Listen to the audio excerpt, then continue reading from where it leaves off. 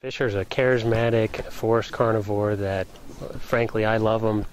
On Thursday, December 8th, 2011, state and federal biologists moved a step closer to achieving their goal of returning the Pacific fisher to its historical range in the northern Sierra Nevada mountains.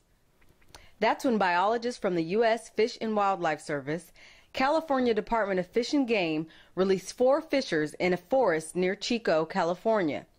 Fishers are members of the weasel family and are about the size of a large house cat, and they're just as quick, too.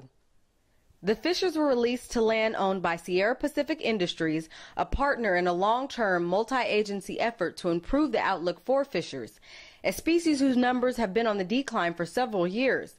Biologists believe relocating fishers to areas where they once thrived will improve the species population and prevent fishers from being listed as a threatened or endangered species.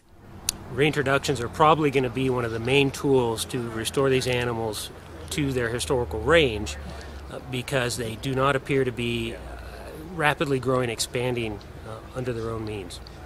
This translocation is one of many carried out by biologists, but it's special in its own right.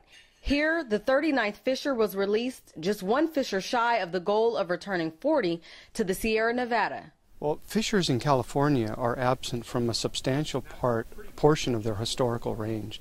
And this effort is intended to reintroduce them into one area where they've been absent for nearly a century.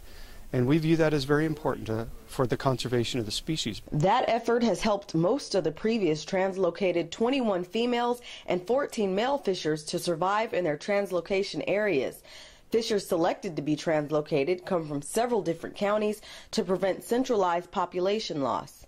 Research shows that the lower um, heterozygosity, genetic diversity that you have in a founder population, the more likely it is to, to go extinct, especially with, with relatively small starting populations like we have with 40. So we try to get as many animals out there with as much diversity in their genetics as possible. As far as the future of the fisher, well, it looks promising. I think this is this is really one species that active conservation, active management is going to take us a long way. Reporting for the U.S. Fish and Wildlife Service, I'm Kenesha Allen.